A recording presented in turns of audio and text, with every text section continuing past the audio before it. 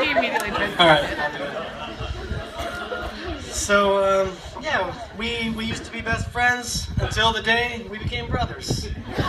So here we are, and here we all are together, and it's just such a really fun, wonderful day, and just really one of the happiest days of my life, really, to see you guys be so happy together.